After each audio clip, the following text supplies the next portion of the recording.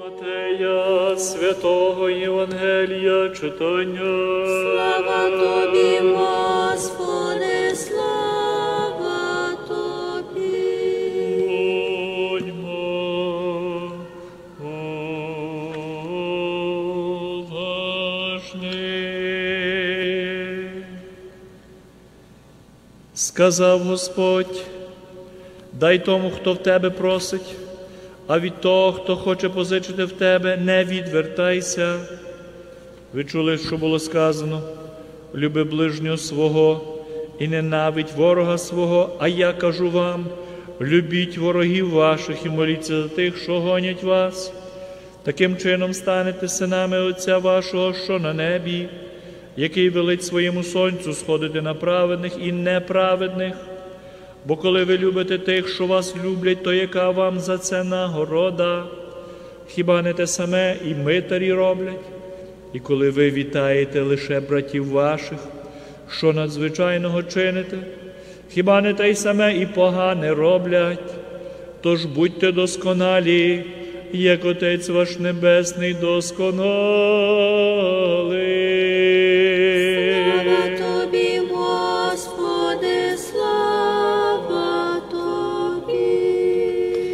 Ім'я Отця і Сина, і Святого Духа. Амінь. Слава Ісусу Христу.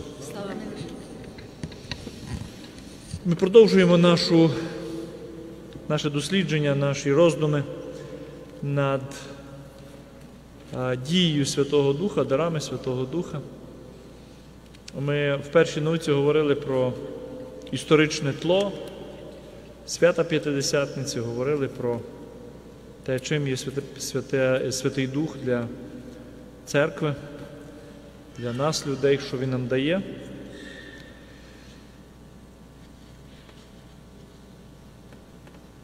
Фактично, життя у Святому Дусі це є життя у реальності Бога. Сьогодні в Євангелії Ісус каже, будьте досконалі, як Отець ваш Небесний досконалий. Тобто життя у Святому Дусі це життя у присутності досконалості Отця. Але дивлячись на наше життя, ми не раз жахаємося. Ми хрещені, миропомазані, Євхаристію приймаємо, до сповіді ходимо. Стараємося і відчуваємо, справді дуже добре відчуваємо ласку Божу і дуже добре розуміємо і відчуваємо, коли гріх починає нас атакувати, коли ми падаємо і дуже хочемо швидко встати, а часами не хочемо, лежимо. А що це таке? Стан буття у Святому Дусі. Насправді цей стан відрізняється від нашого щоденного людського стану. Взагалі, стани можуть бути різними. Найпростіший приклад зараз, коли ходиш по українській околиці, зустрічаєш багато людей, які ж нещодавно приїхали з України. І ви знаєте, ті, які тут прожили трошки довше, ті самі українці, які приїхали там 90-х, 2000-х, чи навіть 5 років тому, як я, наприклад. Але от йдуть люди з України, які приїхали нещодавно, місяць, два, три, і зразу видно. І важко сказати, що саме. Е, Видно найперше по одягу. Українці з України, знаєте, вони ж приїхали люди ще з середовища, де дбають за те, щоб естетично виглядати. Звичайно, естетика в кожного своя, кожного своє розуміння естетики, але от є певний канон одягу, правда, чи для молоді, чи для старших. Тобто йду в магазин, як ще я вийду не нафарбована, правда? Коли ти вже поживеш в Америці так 3, 5, 10, 20, 30, ти робиш так, як американці. I don't care, правда? Що мала, що вбрала. Та мені тільки в магазин, то куди що є. Дехто вже і в піжамі виходить. Ну, ще може не Івана з Бейкері десь там до американців, то вже може в піжамі. І, звичайно, середовище змінює. Середовище Сполучених Штатів змінює нас, які приїхали з України. Ще одна річ, яка, яка, яка впливає на нас тут, ми хочемо чи не хочемо, але ми починаємо виробляти в собі принцип private space, власного середовища, приватного, правда? Це коли ти стоїш навіть в черзі в Америці, ти знаєш, що метр від тебе, метр перед тобою, вільно дихається, все нормально. І часами ти знову приходиш в Аннас Бейкері, і тут раптом тобі хтось лізе на плечі. А ще як ти їдеш в Україну, то ти взагалі в шоці. Де мій приватний простір? І що це показує, що за кілька років ти дуже швидко втягуєшся в інше середовище і звикаєш до інших речей.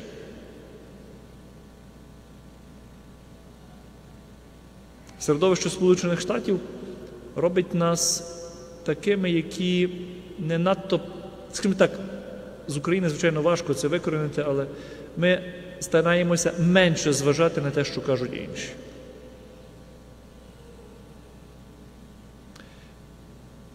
Чому я роблю ці приклади? Для того, щоб пояснити, що коли ти є в одному середовищі, воно впливає на тебе. Коли ти попадаєш в інше середовище, воно також впливає на тебе, і ти, який був раніше з того середовища, раптом починаєш змінюватися. Ти робишся інакший. І тому, коли ти, поживши тут з 10 років, приїжджаєш в Україну і сідаєш за стіл своєю родиною, родина все гарно, тішиться, зустрілися, побачилися, спільно посиділи, погостювалися. Але вже кажуть, ой Галя вже не та.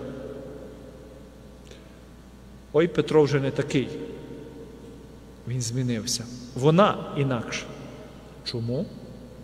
Бо люди відчувають, що ти приносиш з собою те, чим ти накипів в чужій країні. І це фактично є характерно для всіх. Подивишся на людей, які живуть в Італії наших, хапають дуже багато речей від італійців і починають говорити ось так. Руками. І так практично в кожній країні. То цікаво, як всі разом з'їдуться колись до України, що то буде? Новий нарід. Але вертаємося до Євангелія. Середовище Святого Духа також витворює іншу реальність і інше відчуття буття. Перша і найважливіша річ Святий Дух творить в людей поняття еклезіальної єдності. Що це таке? Людина власті Святого Духа завжди бажає певного єднання, творення спільноти. Каже, добре нам тут бути. Добре мені молитися з тобою. Добре мені прославляти Бога разом. Тобто такий власний духовний егоїзм, він не мов би відходить назад. Так, звичайно, є приватна молитва, є все окей. Але є момент отої еклезіальної єдності.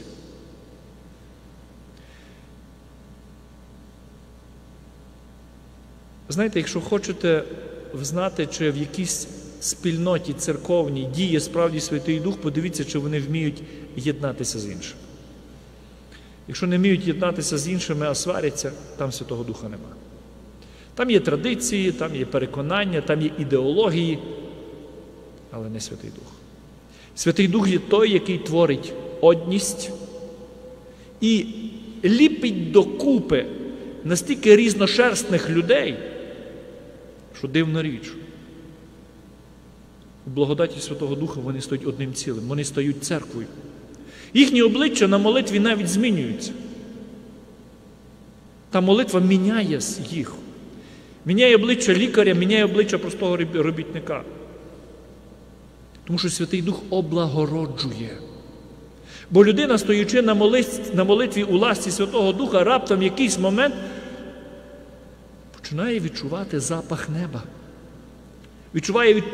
цей смак неба. Цей смак, про який ми насправді всі знаємо. Біда тільки в тому, що дехто про нього забув. Будьте досконалі, як Отець ваш Небесний досконалий.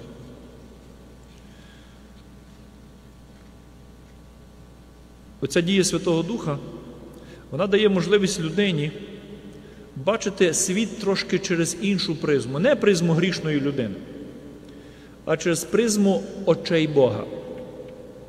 Пригадуєте, апостол Павло каже у одному з своїх послань, каже, нехай у вас будуть ті самі думки, що в Христі Ісусі. Тобто, вчіться думати, як думає Христос. А ми можемо перефразувати. Вчіться бачити світ та як бачить його Бог. І ця благодать Святого Духа саме дає оцю річ. Саме тому, коли ти дивишся очима Бога на себе, на своє життя, на життя людей довкола тебе, ти починаєш дивитися на них зовсім іншими очима. Це не просто очі любові. Знаєте, любов в нас звелася дуже часто до певних таких маніпуляцій.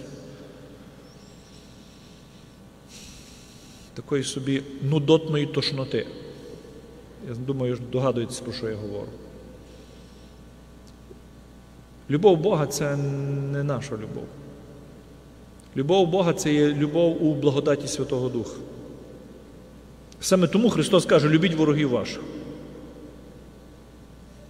От зараз війна. Гинуть хлопці наші, воїни наші, руйнуються наші міста і села. Як любити ворога? Через призму бачення людини неможливо. А от через призму бачення очима Божими можливо. Нещодавно мав розмову з одним військовим. Каже, отче, ви знаєте, як почалася війна, у мене каже, я християнин, я до церкви ходжу, каже. І воно мене мучило. Я ж розумію, там сидить такий самий хлоп, як я, з такою самою родиною, якого послали за ідею руського міра визволяти мене від мого життя і від моєї власності, від моїх дітей. Я розумію, що я мушу в нього його стріляти, я його вбиваю. Каже, що я мав робити? У мене були, каже, страшенні докори сумління. Як? Ніби з одного боку розумію. А потім, каже, отець капелан прийшов і каже, Іване, не переживай. Каже, коли до тебе лізе злодій, який хоче вбити, знасилувати твою жінку, а тебе вбити і забрати твоїх дітей у неволю, то такого злодія треба поставити на суд. А в Україні суди, знаємо, корумповані, то найкращий суд який? Божий. А як він попаде на суд? Зрозуміло як. Він каже, мені то сказав, я тако подумав. А і справді. Не йде на суд Божий. Але знаєте, каже, не маю ненависті до них. Маю злість на те, що роблять, а от ненависті немає. Маю злість на те, що зруйновані будинки, зруйновані міста і села, що ті поля ще десятки років будуть вибухати мінами. На це маю злість. Але дивлячись на них нещасних, чи полонених, чи поранених, чи вбитих, розумію, що і вони стануть на суд Божий. Каже, не знаю, чи це є любов, але ненависті точно немає. Тому легше воювати. Бо розумію, за які цінності я борюся, і розумію, що мушу зупинити і послати на суд, суд Бога. Любіть ворогів ваших і моліться за тих, що гонять вас. Ми це робимо. Ми молимося. Часами нам не зовсім вдається. Але саме благодать Святого Духа допомагає нам стати досконалими, так як Отець досконалий.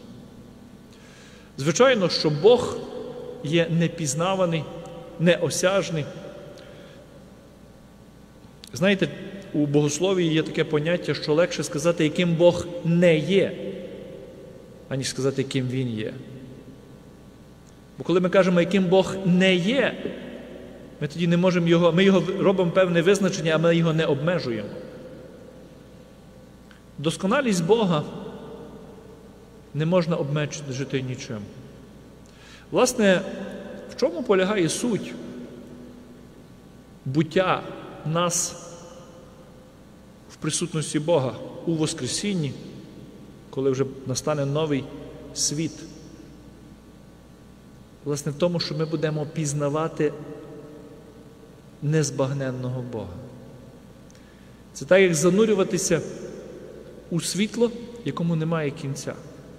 Це так, як входити у повноту любові, яка є безмежною. Це так, як наповнюватись досконалістю, яка ніколи не завершується. В принципі, це категорії не богослов'я, це категорії математики. Знаєте, є поняття пряма нескінченна. Існує в математиці? Існує. Оце все зрозуміти і подивитися на життя очима Бога дає нам Святий Дух. Ще одна річ, яку Святий Дух робить з нами, він з нами робить дуже цікаві речі. Якщо відкрити будь-який молитовник, скажімо так, більшість молитовників, катехизмову частину, то тут ми знайдемо сім дарів Святого Духа і плоди Святого Духа. Отже, що таке дар? Дар це тобі коли щось дали, так? Приїхали українці по U4U, так, зайшли в самопоміч, їм дали там певну суму. Тішаться, вже є щось на початок, правда? Прийшов до церкви, бо тут купа людей, зустрів когось, знайшов роботу. Дар? Дар. Де не треба говорити англійською мовою, так вже легше, правда? Ми любимо дари, бо нам щось дарують. От коли Святий Дух входить в людину, він дає такі дари. Він дає мудрість, він дає розум, він дає раду, він дає кріпость, він дає знання, він дає справжню побожність. І що найважливіше, Святий Дух дає страх Божий.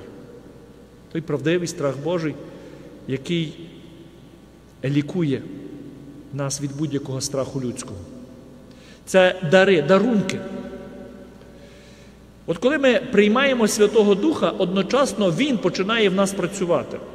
Як я вже сказав, ми починаємо дивитися очима Бога на світ, на себе, на людей, на ворогів.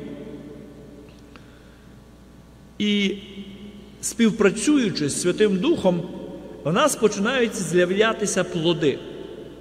Ми стаємо немов би тим, знаєте, плодоносним духовним деревом. Ми тішимося, коли восени десь ти посадив яблуню, і вона тобі восени гарно вродила. Ти смакуєш те яблуко. Те яблуко ніколи не зрівняється, правда, з тим, яке там в магазині. Те яблуко справжнє, воно твоє, воно посаджене твоїми руками. Ти отримаєш від нього насолоду. От Святий Дух, коли закорінюється в людині, він чинить плоди. Ми починаємо плодоносити, давати плоди. Які? Любов, радість. Недаремно кажуть, що сумних святих не буває. Мир. Знаєте, сьогодні мав чергування в лікарні, як капелан щоп'ятниці. Десь мав чоловік 7-8 різних хворих. І голова офісу, е, власне, яка займається е, капеланами, каже: Фадер, піди там, отче, до одного чоловіка 43 роки, четверта стадія раку, вмирає. Знаєте, до таких завжди тяжко йти. Чому? Бо ти розумієш, людина вмирає. І ти, і ти не знаєш, яка буде реакція. Чи він буде Бога звинувачувати, знаєш, казати, от я 42 роки, мене діти малі, там 5, 6, 7 років, жінка. Чому я вмираю? Ти як священник мусиш знаходити слова, які він дуже часто може не чути людина. І тому завжди до таких хворих йдеться з таким певним трепетом і проситься, Господи, дай, даруй ласку щось правильно сказати. Ви знаєте, приходиш до, приходжу до людини, дивлюся на обличчя, уявіть собі, людина після хіміотерапії, все повипадало практично. Запух, сидить підключений до того всього. Дивишся на нього, починаєш говорити, і я просто я був в такому гарному шоці. Я відчув, наскільки в людини багато миру. Це як священник одиничні випадки, коли ти приходиш до людини молодої, яка вмирає, а вона настільки в мирі. Це є плід Святого Духа. Кажу, що молишся? А він каже, то, що батьки навчили. Вервицю молюся. Настільки людина була в мирі, що я сидів біля нього і я відчував якесь таке, знаєте, духовне зцілення біля хворої людини, яка помирає. І це є плід Святого Духа мир. Наступне терпеливість. Це те, чого нам всім бракує. Тому просимо Святого Духа, щоб дав нам ласку терпеливості. Доброта. Часто люди, які сповнені благодаттю Святого Духа, отримують оці, діляться цими плодами доброти. Вони добрі. Милосердя.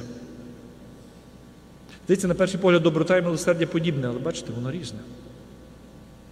Знаєте, ми дуже збідніли у відчутті мови.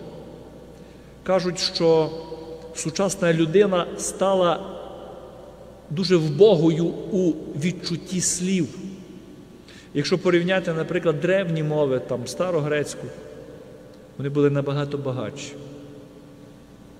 Якщо не вірите, візьміть твори навіть в перекладі на українську мову, наприклад, святих отців, попробуйте їх читати. Івана Златоустого, візьміть, почніть почитати Івана Златоустого хоча б одну сторінку. Ви прочитаєте одну сторінку, ви відчуєте, що у вас мозок закипає. Чому? Тому що ми не готові до, стіль... до такої великої кількості слів з такими відтінками. Ми забули, ми все спрощуємо. Ми навіть слова спрощуємо. Ми тепер в телефонах відсилаємо, правда, різні сучасні ієрогліфи. Смайлики і все інше. Ми скорочуємо, ми не любимо писати. Отож, доброта і милосердя, плоди Святого Духа, віра, лагідність, поміркованість, тихість, скромність, чистота. Це плоди Святого Духа. Це плоди, які народжуються в людині. І Святий Дух немов би плодоносить у людині. Тепер запитаємо себе, чи часто ми чуємо про ці речі так глибоко і суттєво десь у сучасному світі? Дуже рідко. Навіть певні терміни, які говорять про любов там, чи мир, то все, або мир входить в політику, правда, політичну складову, а любов завжди входить в, питання купи-продай. Що купити дружині, щоб вона знала, що ти її любиш. Та, все побудовано на тому, правда, бізнес. Тому завершуючи цю другу науку, Ісус каже, будьте досконалі, як Отець ваш Небесний досконалий. Ми, як люди, не зможемо осягнути цю досконалість, цю досконалість без благодаті Святого Духа. Ми занадто слабкі. Бог створив нас для себе, щоб ми були у ньому. Тому просимо Святого Духа, щоб провадив і вчив, щоб заповнював наше нутро, наш розум і серце, нашу душу, щоб давав нам здатність бачити очима Бога і думати так, як думає сам Христос. Амінь. Слава Ісусу Христу! Слава навіки.